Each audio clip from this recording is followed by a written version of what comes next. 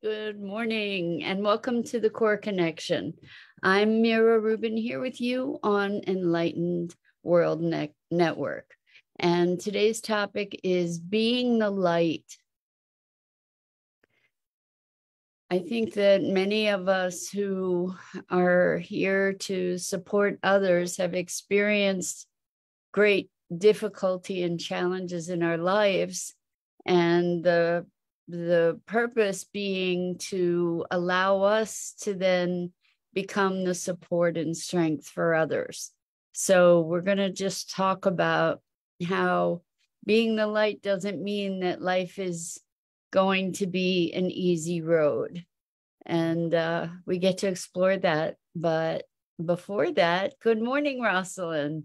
Welcome, welcome. It's so great to have you here with us this morning, and welcome to everybody else who's joining us. And before we get started with our conversation today, let's take a minute or two to get present. So let's take a deep breath in through your nose and hold it. And imagine clean, crisp oxygen flooding your lungs, flowing your, into your bloodstream, nourishing all your cells, all your organs, bringing vital life energy to your body and being. And as you exhale, exhale any tension, stress, negativity, fatigue. And now let's take another deep breath in through your nose and hold it. This time, imagine brilliant bright light lighting you up from the inside out, illuminating, electrifying, and energizing all your cells, all your molecules, all your electrons, creating a brilliant beam of light and energy from your heart out into the world. And as you exhale, exhale any remaining tension, stress, negativity, fatigue. And now let's press our palms together and vigorously rub those palms together to feel all that friction, the temperature, the pressure, and all that tickling and tingling that's there when you stop rubbing them. And allow all those sensations to bring you present right here, right now, into this remarkable physical form that enables you to experience life. So welcome, welcome, welcome. I um I want to read a quote that someone shared with me. And this is really what the topic of this morning's conversation is being the light. So this is a quote. I'm I don't know what the attribution is here. Let's see if I can figure that out. Um, not so easy, but it says some of us are such advanced souls that we did not come here to be supported but we came to be the support system for many. If you've had a challenging life and feel you never had proper support or love, that's because you are the love and support. And I, I thought that was such a wonderful, wonderful quote and a beautiful reframe. We talk about reframing uh, as as a way to look at something differently. And um, I believe that we need to experience hardship in order to really be able to understand how to have compassion for people that are experiencing hardship. And so, um, some of the most brilliant lights in the world that I know have experienced some of the most profound trauma. Um, it's it's really quite remarkable, and it makes sense in its way because then those people have the capacity to be able to be with others through their trauma, and um, it it's such a uh, difficult road when we're when we're on it you know to be going through the the trauma to get to the other side of it. Um and it's a it's a um refining it's a process of refinement. It's something that is honing us to be able to be more present during during times of incredible challenge. If we've had a uh, charmed life, so to speak, it doesn't allow us much ability to have deep compassion. And there may be exceptions to this rule, um, but without having experienced um, profound challenges. How can how do we have the capacity to meet someone where they are? So i remember i went through a period of very very very well years and years very intense depression. And at one point i had a new friend and um, she she just said snap out of it you know stop being it was so crazy to have that have that person say that um, because how in the world why in the world if i knew how to not be depressed would i go through that suffering? If it were as simple as just stop it um how would i how why wouldn't I? Right? Nobody nobody wants to stay stuck in that misery even though it does become habituated we don't we don't want to stay miserable um, it makes me think also that that the reason part of the reason is that we stay stay in those states is because we truly don't know how to move out of them. Um, because it's it's like a loop that kind of keeps us stuck in in the same pattern over and over and over again. And um i i good morning jenny. Jenny it's so good to have you here with us this morning so i don't know if you heard the quote from this morning i'm hoping that you did because I, I think it might help to give you a different perspective. So um, I, I'll read it again, I think. Rosalind says that's a comforting perspective. Empowerment comes when we can step into our own light. Is there light without contrast? I I think that that's the question, Rosalind. I, how could light exist without contrast? Light defines dark, and dark defines light. So, Jenny, I'm going to read this especially for you and for anybody else who just joined us. And if you're wanting to join the conversation, please go to the Enlightened World Network Facebook page or YouTube channel. And if you put your comments in there, then I should be able to see them and I can respond to them. So here's the quote. And hopefully this will resonate for you, Jenny.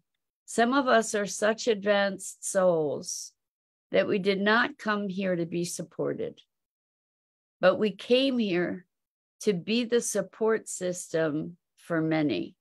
If you've had a challenging life and feel you never had proper support or love, that's because you are the love and support.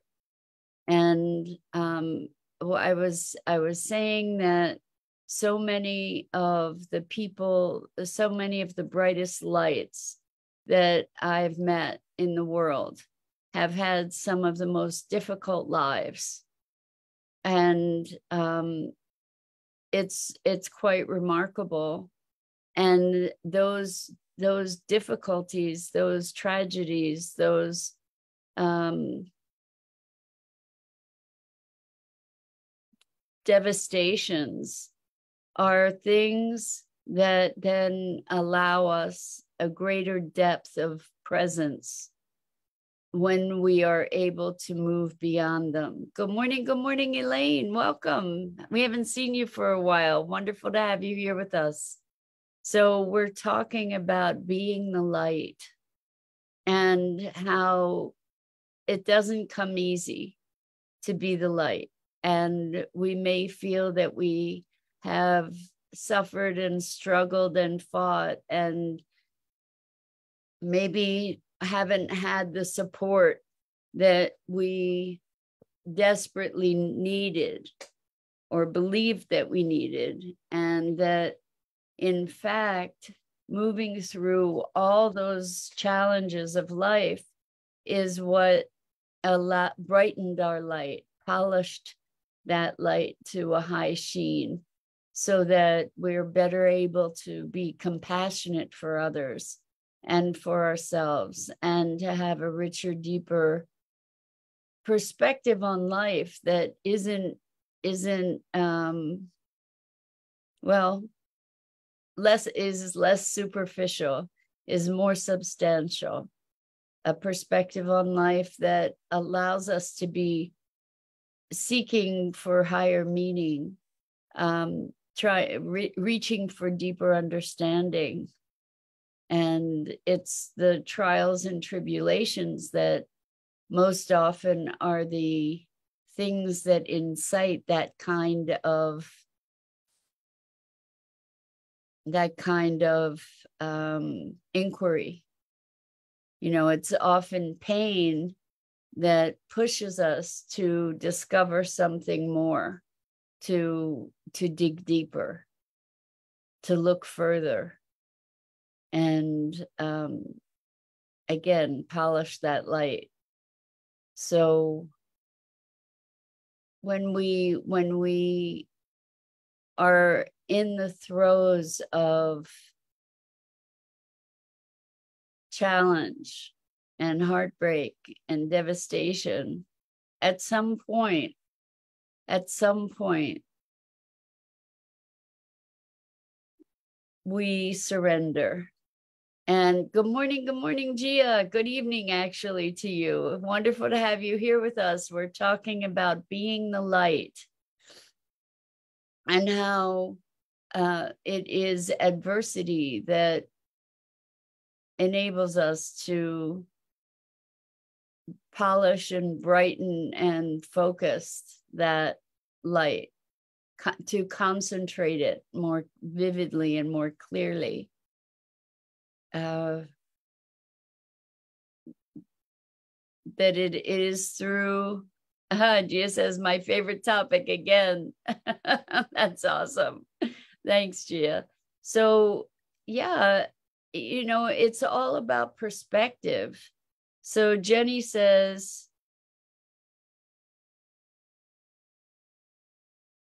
Jenny says, last night my daughter sent me a TikTok video about how children that have been abused and traumatized live shorter lives by 20 years.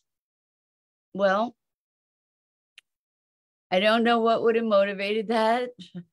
Um, and that's, I think that that's probably a function of whether those children choose to be the light, if they're able to get to the other side of the mm. trauma and heal it. And my thought about that is that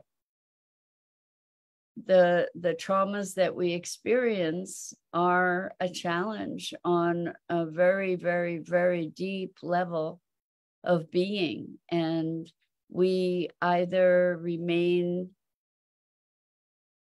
at the effect of those things or we ha- have been graced with the opportunity to overcome them. And I say grace because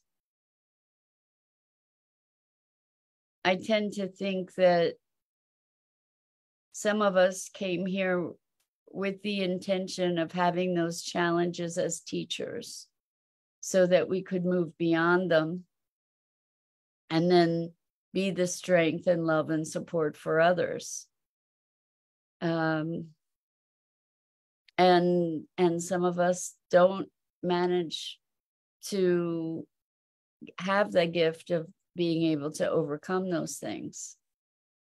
And so my thinking is that if we actually are able to heal then perhaps we live longer lives and um, Elaine says the seemingly hardest and deepest experiences offer the greatest gift on the journey of awakening. All our blessings And Jenny says, I said sorry to hear, and I hope she understood me better. Well, that's beautiful, Jenny. That's beautiful. Maybe, maybe she did. Maybe she's starting to.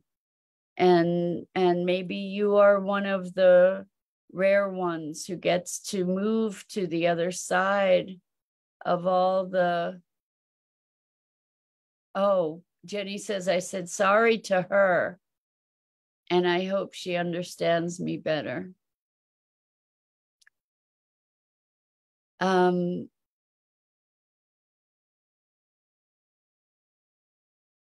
as i was saying i hope that you are one of those who are graced to become to be able to metabolize all the tragedy and pain in such a way that you can heal it and become whole and and be an ever brighter light. Uh, it's such an interesting it's such an interesting life that we choose right so Jenny says, I'm always the person lifting up others. Well, hopefully, in the lifting up others, it's uplifting to you as well, Jenny. And and the thing is to allow yourself the grace of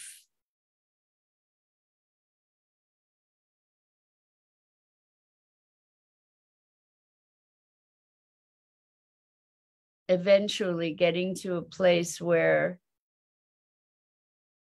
the the past is past and the pain becomes a teacher was it becomes some something that enabled you to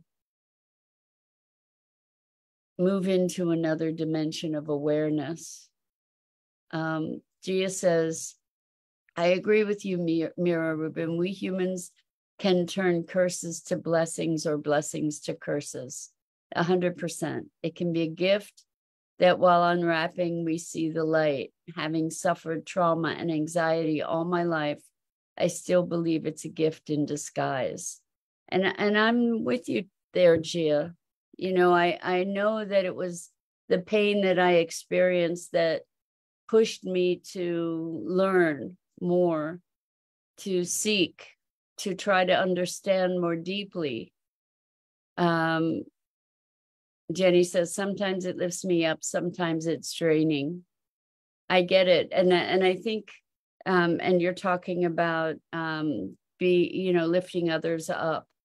So the thing is that sometimes um, I see a lot of people go through a period at least of trying to save others. And um, Jenny says, yes, Gia, it takes learning and healing. And this this notion of trying to save others, you can't save others. You can you can support others in their efforts to save themselves. You know, you cannot save someone who doesn't want to be saved. And um, that's that's sort of the paradox of of things where we can see people suffering. And sometimes when people are suffering they're just very committed to their suffering. They need to be suffering in order to get to the place where they can make a different choice perhaps. And it can be very painful to watch. Until we allow that they're going through their process also. You know, I, I have seen people very, very committed to their suffering. And I think at some point in my life, I was very committed to my suffering. I was very identified with being a victim and being broken. And um, it was very much who I was for myself, who I experienced myself to be. And um,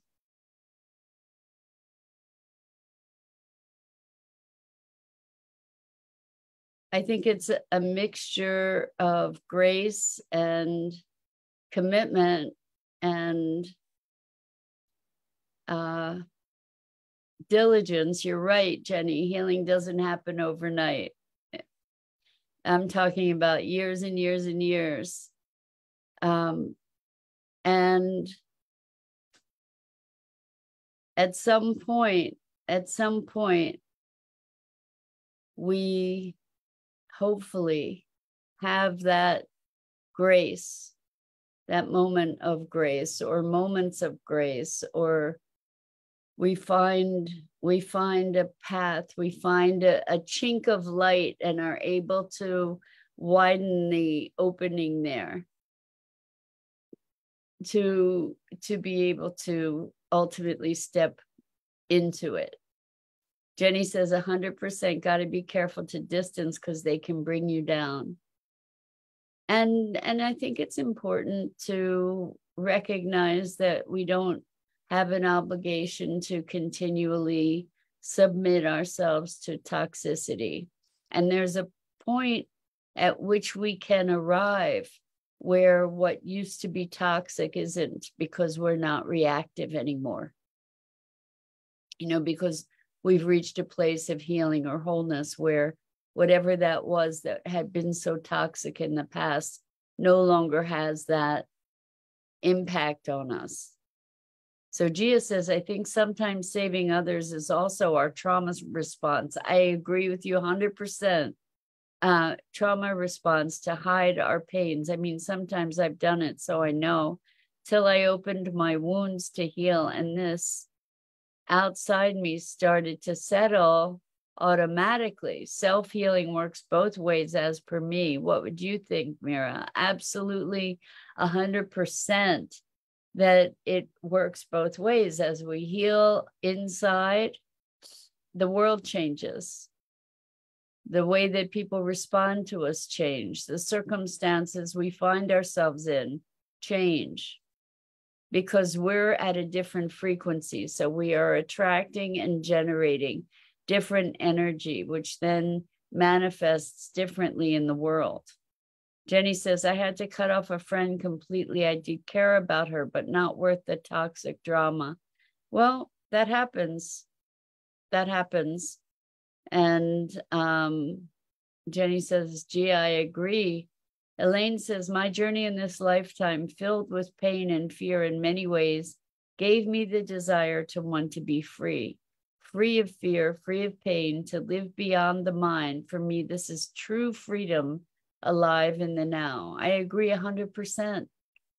I agree 100% that it, like, freedom is my primary value, that everything comes below, you know, lives under the umbrella of of freedom. Jenny says absolutely different frequency. Yes, so when we when we shift our frequency, when we shift our identity, really. Like if we're identifying as a victim,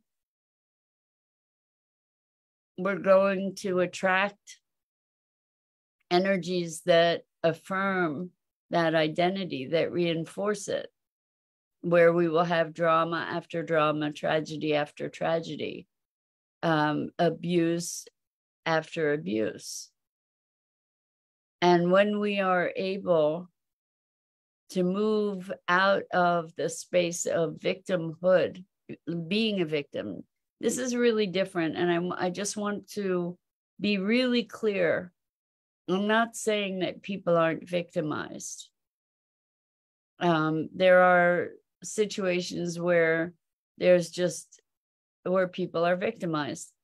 I'm talking about being a victim versus having experiences and so um, Jenny says, I was just thinking last night how to stop feeling a victim.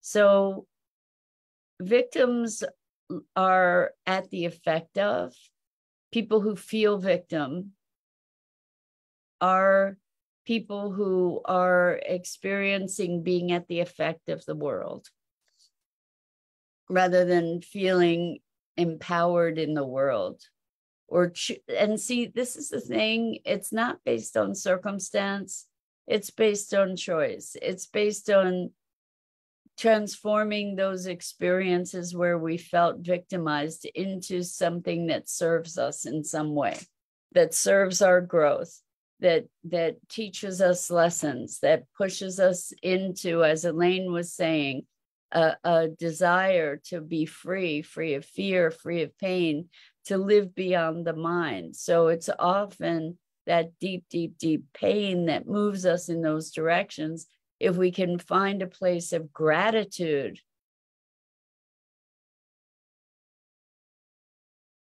um, if we can find a place of gratitude, then we can move more freely into empowerment. And, and I can just say that that's a really important key, Jenny, is to first start believing that life is happening for us rather than to us. And then to be grateful for all the experiences, to be looking for the lessons from them, to be receiving the growth that they provide us. So Rosalind says, staying in the shadows, keeping things unseen. It takes courage to shine a light to see things we may have kept in the basement. 100%, Rosalind. 100%. Jenny says, it's the unhealed wounds that still hurt that hold me back. And so the question is, how can you heal them? You know, to be looking at self healing, to be giving to the child that was wounded in within yourself, to be looking for the gifts in those experiences and sometimes it's hard to look at them. Sometimes it's hard to look and see our own role in creating the circumstances that have created a, a, great pain for us. Oftentimes, it's just eh, to like, I remember going through a period of deep, deep, deep shame and and facing all the shame that I had and facing all the judgments that I had about myself. And it's difficult. It's truly difficult. Elaine says true kindness and love with no agenda has the power to dissolve old conditioning that are no longer serving within and without, for they are both the same, for all is truly love, no matter that no matter the reflection. And and admittedly, it's true. It's a hundred percent true. And admittedly, sometimes in those places, it's hard to access. So curiosity, um, gener- uh, gratitude, both of those are really, really profound tools in the path of healing. And I have to run. I love you so much. And uh, I'm Mira Rubin. This is the core connection. And I go live here each weekday morning on Enlightened World Network's Facebook page and YouTube channel at 9 a.m. Eastern. And please check out the other awesome programming in Enlightened World Network, EWN One with the Earth, and Enlightened World Living. And until next time, so, so, so much love and appreciation to you.